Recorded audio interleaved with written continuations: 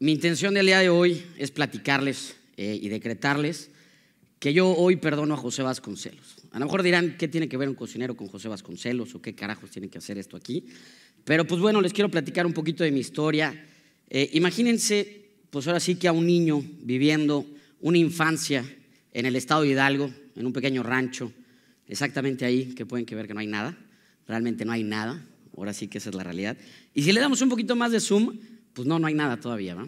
O sea, prácticamente no hay nada. Vaciadamente esta foto la saqué de Google eh, y fue tomada en 2016 y pues yo salí de, de, este lugar hace ya casi 15 años. Entonces, pues bueno, hay un poquito más de cosas, por así decirlo, ¿no? Pero ¿qué pasa? Entonces yo estaba viviendo ahí eh, con una mamá 100% regia, mi papá eh, de la Ciudad de México, y pues como que no había mucho para dónde interactuar, ¿va? Estábamos en el kilómetro casi 36 más cerca del primer pueblo, que se llama Xmiquilpan. Entonces, pues mi mayor interacción era mis hermanos, mi mamá, y entonces mi mamá 100% regia, pues obviamente todo el tiempo me platicaba, ¿no? Y siempre estaba este tema de comparación de lo que pasaba en el rancho con lo que pasaba prácticamente en Monterrey. Entonces, pues de repente unos amiguitos ahí, yo estuve del kinder hasta casi la prepa, entonces nos invitan a una piñata que se dice aquí en Monterrey, entonces pues llegamos a esta fiesta y pues va llegando la piñata, hay muchos picos, muy colorida, vamos, la rompemos y pues sale fruta, ¿no? Eh, pues de que la jicama, ya sabes, ¿no? Todas esas cosas. Y mamá me decía, bueno, en Monterrey realmente salen dulces, ¿no? Entonces era como que, wow, ¿no? Pues Monterrey, Monterrey, ¿no? Entonces, cada que regresamos a casa, eh, honestamente no había internet, no había Skype, no había este tipo de cosas en el rancho. Es más, lo más divertido era a las 7 de la noche prender la planta de luz para que, pues bueno, todos pudiéramos ver, ¿no? Entonces, platicamos mucho con mi mamá. Y lo más padre de esto era que había una interacción familiar y mi mamá realmente nos platicaba de Monterrey. ¿no? Entonces nos decía, mira, cuando yo era chica vivíamos en San Felipe, que es por Santa Bárbara, y cruzábamos prácticamente por esta calle llamada Vasconcelos, en la cual estaba la pastelería que mi abuelo me llevaba cuando yo era chica, unos pasteles preciosos, hay una heladería preciosa donde los helados eran de este tamaño y casi casi se te rompen del cono. Entonces yo desde ahí como que empezaba a ver, bueno, Monterrey, Monterrey, esto está divertido, esto está padre, ¿no? Y me seguía platicando la calle y como que mi mamá insistía mucho en esta calle Vasconcelos, entonces para mí era de, oye, pues esta calle debe ser la gloria, ¿no? Esta calle, wow, ¿no? Prácticamente para mí era, pues es un Champs-Élysées, ¿no? Yo ya me veía con esa, con esa idea, ¿no? O sea, vamos a llegar a Monterrey, Champs-Élysées, lo mejor de lo mejor, pues ahora sí que es súper padre, ¿no? Pero se me quedó muy grabado ese nombre Vasconcelos. Eh, no, era un, no era un nombre que, que se me afelirizaba mucho, pues ni en la escuela que yo estaba, ni nada, como que no, no lo tenía entendido. Entonces, pues bueno, no, no existía este señor Google que todo lo sabe ahí en el rancho, pero pues lo que sí teníamos era prácticamente en estos lugares que, es el centro de, Este es Alfajayucan, es un pueblo más chiquito todavía, Karen. Entonces llegamos a Alfajayucan, mi papá tenía que ir allá a la presidencia, entonces yo me voy acercando y prácticamente en todos los kioscos de allá de Hidalgo y sobre todo el centro, y nos hemos dado cuenta que en, mucho, en, en todo el país, en la parte de abajo hay una biblioteca. Entonces, pues yo llego, entro a esta biblioteca y empiezo a preguntarles, ¿no? Oiga, pues tendrá algún libro donde venga este nombre Vasconcelos o la calle o, o no, no sé quién es realmente. Y pues obviamente no tenían muchos libros, pero bueno, no sé si algunos se acordarán, me saco una monografía, ¿no? Una pequeña hojita, que pues ahí venían todas las fotitos y todo el rollo, muy poca información, pero pues le doy vuelta y veo, ¿no? José Vasconcelos. Y empieza, empiezo a leer y me doy cuenta que fue un erudito, ¿no? que fue una gran persona, un gran filósofo, gran escritor. Eh, por medio del, del, de la UNAM tiene lo que es el, el doctor honoris causa, ¿no? fue el, eh, prácticamente el primer secretario de, de, lo que es la SEP, de la Secretaría de Educación Pública. Entonces imagínense ese peso, ¿no? O sea, realmente un gran letrado, el noveno rector de la UNAM también.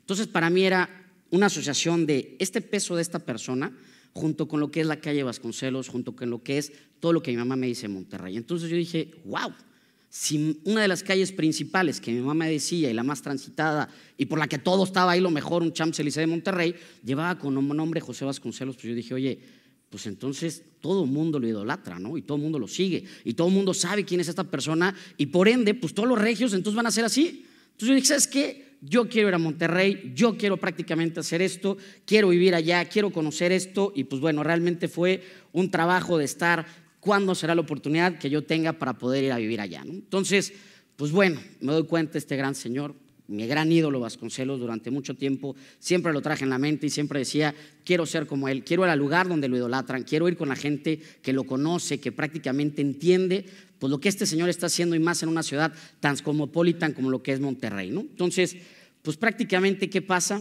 Con el paso del tiempo, me voy agregando un poquito a lo que es la gastronomía, nada más, no, ahí está. Entonces, pues yo le digo a mis papás, ¿sabes qué? Quiero estudiar gastronomía, me gusta el tema de la cocina, eh, soy comelón, como se pueden dar cuenta, me encanta comer. Entonces mi papá me dice, ok, ¿quieres conocer la gastronomía? Lo primero que tienes que hacer es viajar. Entonces, pues dime que a dónde viajo, ¿no? Me dice, tienes que ir a los mercados, tienes que ir a los pueblitos. Entonces yo empiezo a viajar a los pueblitos, empiezo a viajar a los mercados de Hidalgo y me empiezo a dar cuenta de esta mega riqueza que encontramos, ¿no? Obviamente muchísimos ingredientes, súper padre. Digo, ¿sabes qué, papá? Claro que quiero esto. Esto es lo que quiero de mí. Mi mamá también la insistí, mi mamá se le quema el agua, pero bueno, mi mamá era así como que, wow, pues alguien en la familia va a cocinar, ¿no? Entonces, pues prácticamente fue algo como que muy wow y me dice mi papá, bueno, pues obviamente aquí en Hidalgo no hay universidades de gastronomía, ¿a dónde te quieres ir, no? Yo en ese momento fue, esta es mi oportunidad, ya la tengo, ya sé dónde quiero. Levanto la mano corriendo y le digo, papá, me quiero ir a Monterrey. Mi papá me pone una cara literal de, ¿es neta? O sea, ¿sí te vas a ir a Monterrey? Me dice, ¿y sabes la gastronomía de allá? Y yo, Champs-Élysées, o sea, yo voy sobre Vasconcelos. Olvídate, si aquí hay mercados, allá va a haber tiendas boutique, ¿no? Mi mamá literalmente suelta el llanto, se pone súper feliz. Mi mamá me dijo, Rodrigo, corre, ve, qué padre que vas a mi tierra.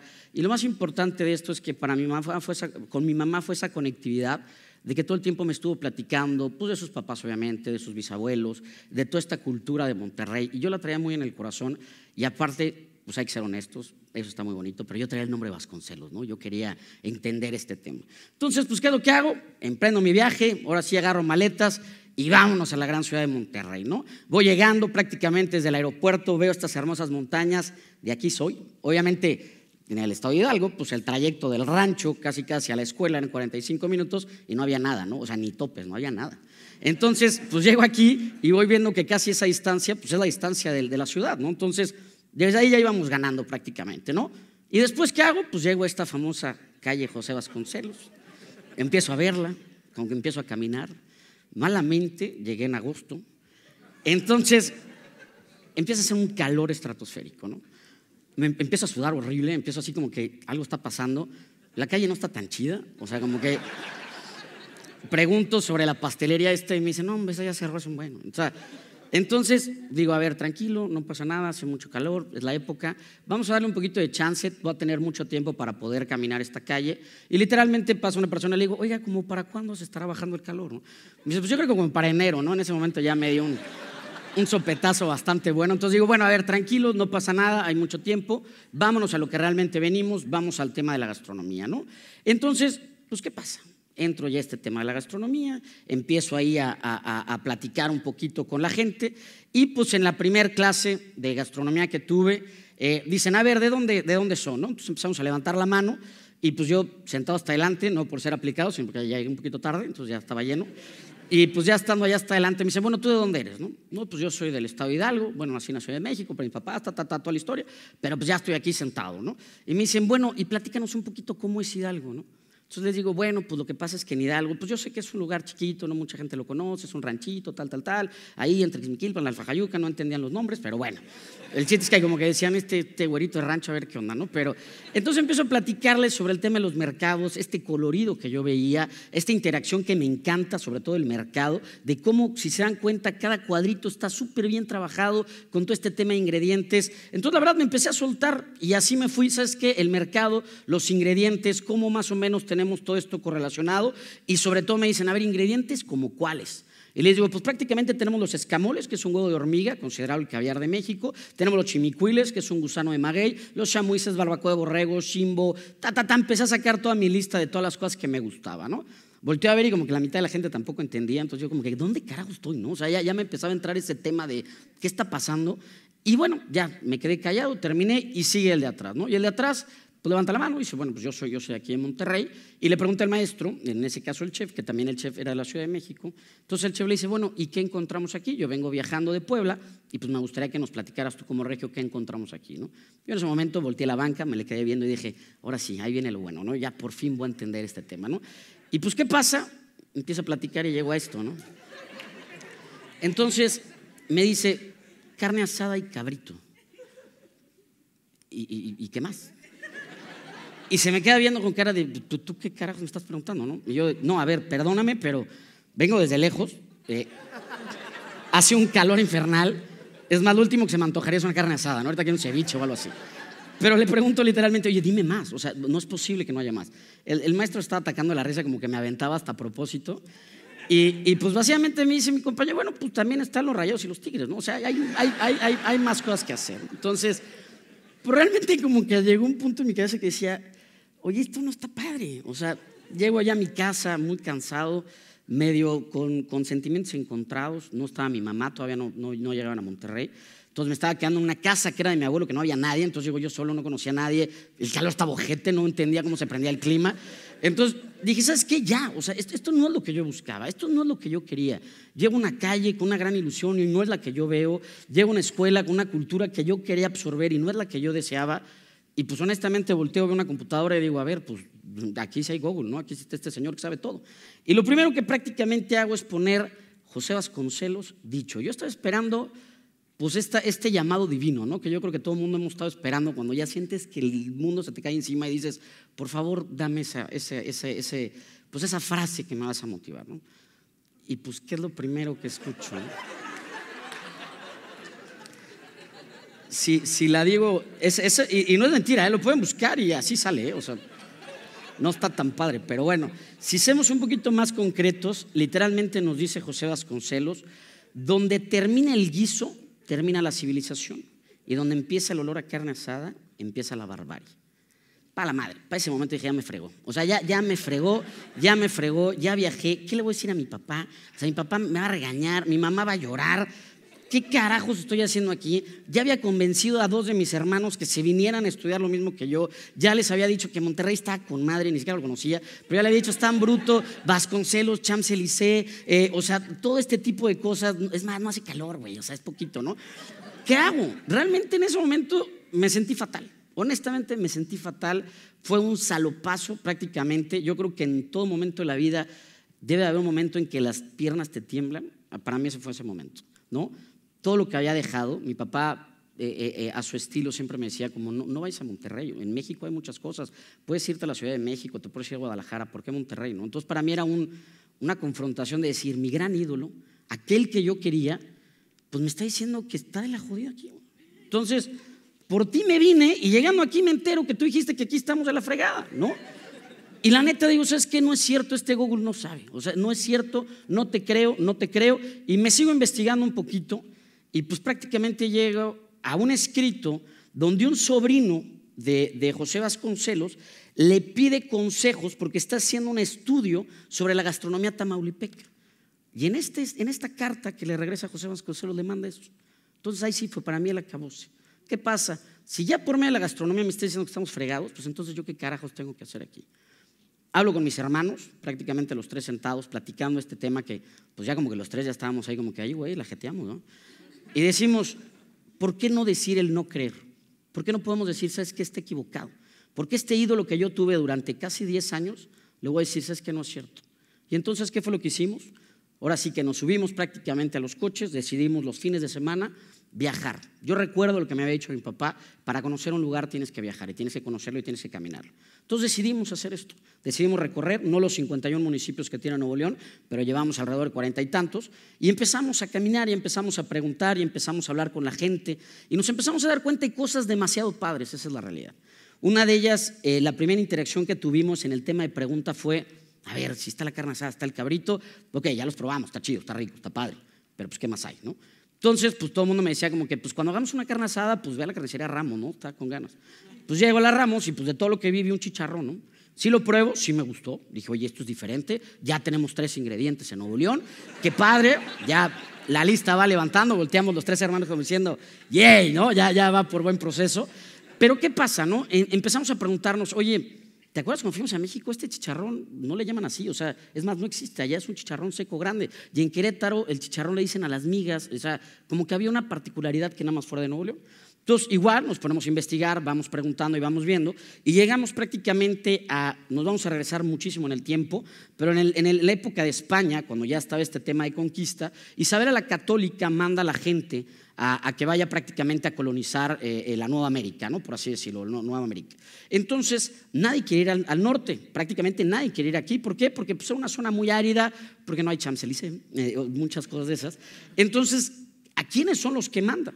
Entonces, en la parte norte de España encontramos a, este grupo de judíos, de árabes. Entonces Isabel la católica, por eso le dicen la católica, decide, ¿sabes qué? Se pueden ir a la Nueva España en la parte norte y ahí prácticamente les voy a dar tierras, les voy a dar todo, pero con la condición de que se conviertan al catolicismo. ¿no?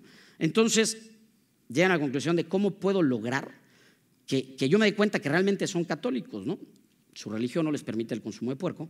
Entonces, lo primero que hace es cuáles son los platillos típicos del norte de, España y encontramos un, producto que se llama torrenzo de Soria. Es un chicharrón exactamente igual que el de la Ramos, pero con piel y es súper doradito, es una chulada, ¿no? Entonces agarra y les empieza a obligar a esta gente a darles de comer esto, y entonces era la forma de que al momento que tú lo comes, ya, ya no eres judío, o sea, si me explico, ya te convertiste al catolicismo, ya es como que la palomita y vámonos ahora sí a la Nueva España, ¿no? Entonces, pues prácticamente esto es ya no judíos, sefarditas, que es el, nombre que se le da al, cambio de, religión, y entonces llegan ya a la parte norte y pues se dan cuenta que hay China libre, ¿no? Esa es la realidad. Se dan cuenta que aquí ya nadie lo está checando en el norte, entonces regresan a sus costumbres, prácticamente vuelven a regresar a pues ellos seguir prácticamente con sus mismas tradiciones y todo. Y entonces en ese mismo parámetro pues llega Carvajal y, y, organiza un grupo de gente y dice, ¿sabes qué? Vamos a hacer la fundación de Monterrey, ¿no? Como tal. Vamos ya a fundarlo yo ahí en ese momento como que me paré un poquito en la investigación y dije, ah, caray, ¿no era este Montemayor el que fundó Nuevo León? Pues nos damos cuenta que no, hubo tres intentos de fundación y hasta el tercero se logra, ¿no? Entonces el primero es Carvajal, baja a la Ciudad de México con el grupo de gente y le dice literalmente a, la gente con la que estaba reunida, quiero fundar Nuevo León, ¿no? Quiero, quiero fundarlo, es un lugar muy padre, tal, tal, tal, tal, tal, tal. Entonces hay una comida que tienen y el plato principal era carne de puerco en salsa, ¿no? Obviamente todos los sefarditas judíos se quedan viendo y una sobrina de él literalmente dice, yo no puedo consumirlo. Entonces les llama mucho la intriga y le preguntan, ¿por qué no lo puedes comer? Y ella malamente dice, ¿sabes qué es que mi religión me lo permite? En ese momento capturan a Carvajal, entra a cárcel, ahí muere, pero logra, logra llegar ese mensaje al norte, aquí a Monterrey, y entonces llega ese mensaje donde le dicen, ¿sabes qué? Cuidado, ya se enteraron que somos judíos y nos van a venir a linchar, nos van a venir a matar a todos, ¿no? Entonces, ¿qué es lo que hacen? Cierran los libros de gastronomía. Prácticamente cierran todo, cierran la cultura, cierran la tradición. ¿Por qué? Por un miedo. Y yo lo veo que es un tema de supervivencia. La evolución o una civilización es aquel que está tratando de lograr llevar una evolución. Entonces, pues ahí fue donde nos empezamos a dar cuenta, junto con muchos más ingredientes, muchas más cuestiones, de que Nuevo León tenía mucho más que ofrecer. Si nos hablamos en ingredientes, encontramos dos. Encontramos los nativos como las maguacatas, que es la vaina del ébano, la cual se consume riquísima. Encontramos también los cabuches, encontramos miles de cosas, la flor de la nacahuita, el fruto de la nacahuita. Encontramos miles y miles de productos, ¿no? Y ahí están y pues podríamos seguirle. Pues ya teniendo toda esta información, los tres hermanos decimos, ¿sabes qué? Vamos a abrir un restaurante. Vamos a abrir un restaurante de cocina norestense, 13 tiempos, el más exclusivo, chiquito, porque no hay mucha lana, pero que esté bien padre, para 20 personas, que funcione muy bien. Y pues la misma gente de Monterrey nos decía, güey, están locos. Ya ha habido intentos de restaurantes de menú degustación y no funciona. Aparte de cocina norestense, pues ¿qué van a dar, güey? O sea, regreso al tema, carnes ahí cabrito, y nosotros, oye, se ve que no has viajado por los municipios, ¿verdad? Se ve que no has entendido, pero no te preocupes, tú métete a lo tuyo y nosotros seguimos con esta ilusión. Y realmente llegamos a esta ilusión los tres hermanos, ya con el conocimiento que teníamos, con el tema de ingredientes que teníamos. ¿Sabes qué? Vamos a abrir este restaurante que se llama Coli actualmente. Es el que tenemos. Les digo, está chiquito, pero bueno, le echamos mucha potencia y mucho amor. Y entonces empezamos a hacer un desarrollo para el regio. Nosotros quisimos cocinar para el regio. ¿Y qué fue lo que hicimos en este menú de 13 tiempos? Empezamos a diseñar platos en los cuales cada uno de ellos tuviera una historia, en cada uno pudiéramos nosotros transcurrir hacia la gente que llevara este tipo de historias. Tuvimos, bueno, en la parte de arriba tenemos este plato que es unos cabuches, es un honor a la parte del sur donde encontramos esta zona árida. También tenemos lo que es una fritada de melón, la misma técnica de una fritada pero convertida en melón. Tenemos lo que es la huasteca, un plato que habla de todo lo que es la huasteca, cómo empieza, cómo se ve, el tema de las piedras y todo ese rollo. Tuvimos también otro plato que hablaba prácticamente los tres intentos de fundación. Tenemos lo que es el meteorito, que lo explica Patricio Revien, este, que es donde nos habla desde para poder empezar a hablar de Nuevo León, cae un meteorito, rompe prácticamente este Pangea y años después encontramos el nuevo Reino de León. Entonces realmente hicimos un restaurante para el regio, ¿no? Internamente, para mí, se me iba olvidando Vasconcelos. Pero ahí en el corazón era como que un te voy a fregar, güey. Lo voy a hacer, lo voy a hacer y lo voy a lograr, y lo voy a lograr.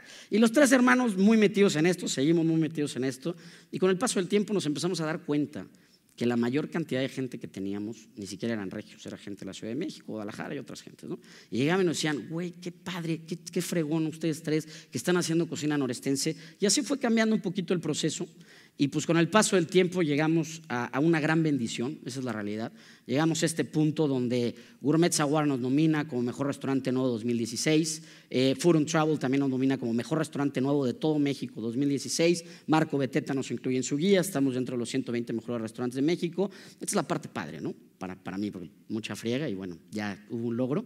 Eh, pero hace no más de un mes y medio, eh, Gourmet Saguar nos nomina como mejor servicio de todo México y también como mejor menú de gustación de todo México. Y bendito Dios lo ganamos. En ese momento que lo ganamos, fuimos los tres hermanos a Guadalajara, no nos las creíamos, hasta la fecha todavía me sigue costando trabajo creérmela.